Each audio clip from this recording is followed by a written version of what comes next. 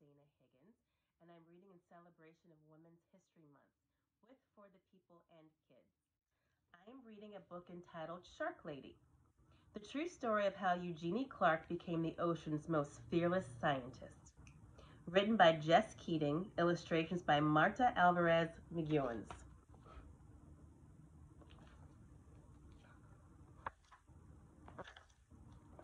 It was Saturday and Eugenie wanted to stay at the aquarium forever.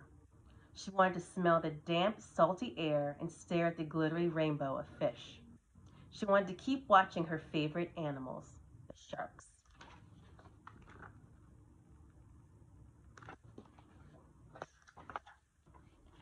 Eugenie pretended she was walking on the bottom of the sea. What it would be like to swim with her sharks, to breathe underwater with gills of her own. More than anything, she wanted to find out.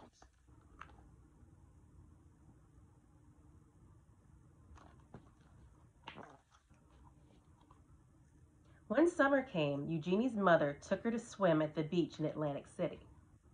Stuffing sticky gum in her ears to keep the water out, Eugenie dove down, down, down. The salt stung her eyes, but she didn't want to miss a single fish constellations of sea stars speckled in pebbled sand. She imagined a silvery fin standing strong on her back, slicing through the ocean current.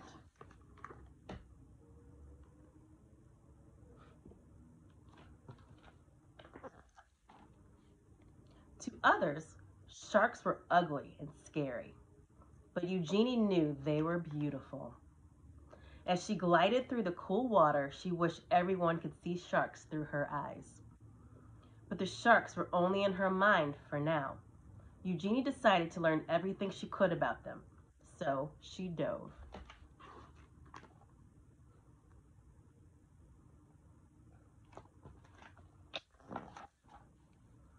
This time into books. Whale sharks, nurse sharks, tiger sharks, lemon sharks, Eugenie wanted to know all about them. She also joined the Queens County Aquarium Society as its youngest member. Eugenie's notebooks filled with sharks. They swam in her daydreams and on the margins of her pages.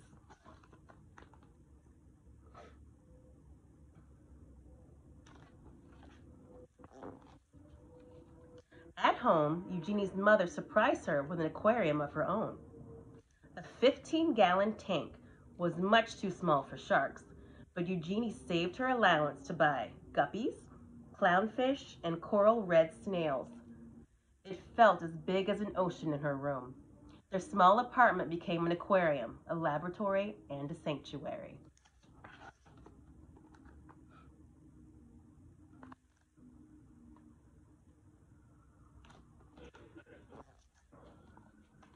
As she grew older, many were still telling Eugenie what to do. Forget those sharks. Be a secretary. Be a housewife. Eugenie wanted to study zoology, but some of her professors thought women weren't smart enough to be scientists or brave enough to explore the oceans. And they said sharks were mindless monsters. Eugenie knew better. Her dream was as big as a whale shark, so again, Eugenie dove.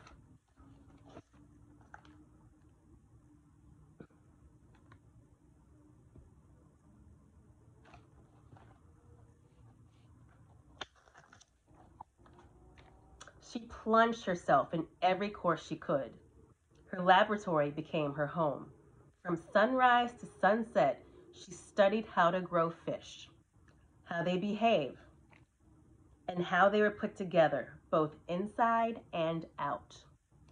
Despite all of the people who didn't believe in her, Eugenie was becoming one of the smartest students in her field. Even after she earned her degree, many still doubted her.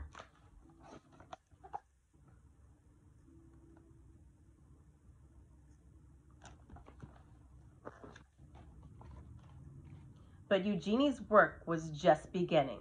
Eager to make discoveries of her own, Eugenie finally dove into an open ocean. In the Red Sea, Eugenie collected hundreds of fish, including three species that had never been discovered before. Red Sea sand diver, barred xenia pipefish, and the volcano triplefin. On a research mission exploring the Palau Islands, Eugenie was diving alone when she encountered her first ever wild shark. She wasn't afraid. Instead, she thought it was beautiful.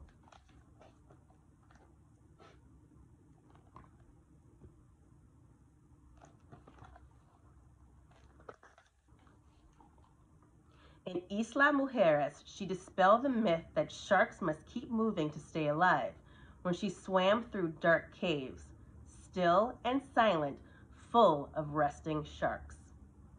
Eugenie's daring heart grew bolder with each dive. Soon they began to call her Shark Lady. Eugenie had proven she was smart enough to be a scientist and brave enough to explore the oceans.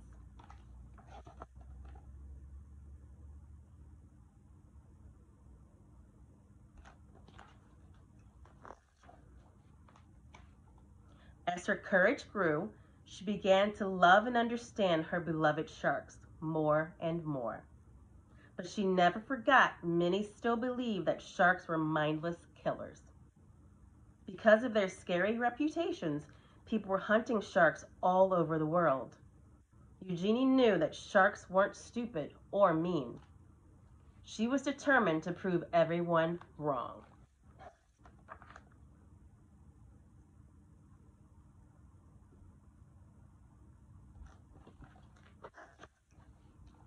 Eugenie fished through her mind and devised a brilliant experiment.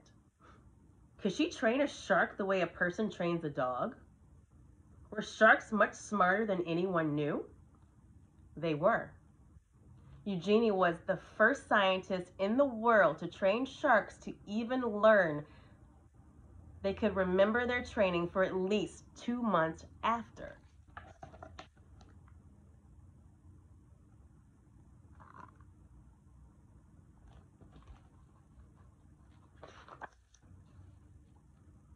Sharks were not mindless killers.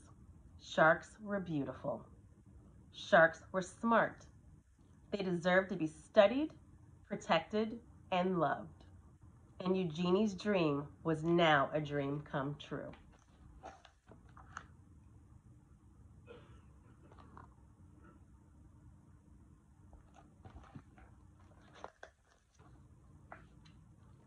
At the end, there's some little tidbits we're going to read together. So this is called Shark Bites. Dangerous monsters? No way. There are over 400 species of sharks, and of these, many, only about a dozen are known to be dangerous to humans, and encounters are extremely rare. The truth is, despite their fearsome reputations, humans are much more dangerous to sharks than they are to us. Every year, humans kill more than 100 million sharks. It's important to treat sharks with respect, but there is no need to fear them. Sleep tight. Eugenie once swam in a cave full of peaceful, resting sharks suspended in the water. But there was but were they really sleeping? Sharks breathe by using their gills to extract oxygen from water. Eugenie noticed that the cave was filled with sleeping sharks, had more oxygen than usual. She believed that this extra oxygen would make it easier for motionless sharks to breathe, so they didn't need to swim to pass water over their gills. Before confirming this discovery, she believed the sharks had to keep moving to stay alive. No toothbrush here. Sharks have impressive teeth arranged in rows along their gums. These teeth are constantly being grown and move forward in their mouths like a conveyor belt. Was Eugenie afraid of sharks because of their sharp teeth? No way. She was only bitten once in her life, and the encounter didn't even happen underwater. Once on her way to school visit, with the mounted jaws of the tiger shark behind her, beside her in her car, Eugenie had to stop quickly at a red light. As she reached across the seat to stop the jaws from tumbling forward, the teeth chomped onto her arm. Sneaky skin. Sharks can move extremely fast in the water, and the secret to their speed is their skin. Shark skin is made of dermal denticles, which are more like teeth than fish scales. Some swimsuit designers have even created swimsuits that mimic shark skin to help Olympians swim faster in the water. Big, small, and everything in between. There is an incredible variety of sharks. The smallest in the world is a dwarf lantern shark at under seven inches long. The world's largest shark, the whale shark, measures over 40 feet. Once Eugenie was swimming with these giants in the Sea of Cortez. One swam very close to her, so close she was able to grab hold of it. She let it carry her for a long time until she finally let go and she realized she was far away from her boat. Mermaid purses.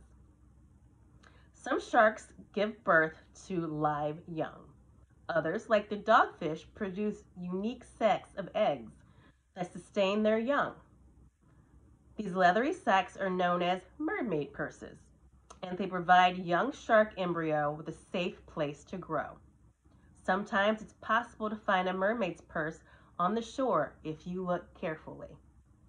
Life at the top. Sharks are apex predators. This means they're at the very top of the food chain in the ocean. Because of this, they play an important role in keeping food webs and prey population in balance. Without sharks, ocean ecosystems would collapse. Sharks are old, very old. The first sharks appeared over 400 million years ago, and their descendants are still around today. They have survived five major extinction events, including 165 million years ago that destroyed the dinosaurs. I hope you guys enjoyed this book as much as I did learning about Eugenie Clark. Uh, see you guys next time. Bye, boys and girls.